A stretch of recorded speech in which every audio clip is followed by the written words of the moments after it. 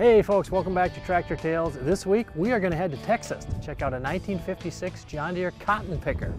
This was actually mounted on a farm tractor. Yeah, this is a 1956 model cotton picker. Of course, cotton was harvested predominantly by hand up until really didn't transition near 100% till the early 60s of mechanical harvesting. But this was mounted on a G John Deere, happened to be a 52 model. A lot of them are mounted on 420 John Deeres, which was more the age of the picker. So this tractor is actually older than the machine but it was mounted, if you'll notice, running backwards. So the only gear they had for harvesting was a reverse gear. So then it has two seats on it. It's got the regular tractor seat. So if you move it from farm to farm, you get the regular tractor seat and go forward with it. Pretty crude, but advancement in the picker mechanism compared to the day is not a re remarked difference the way it actually the mechanism does the picking.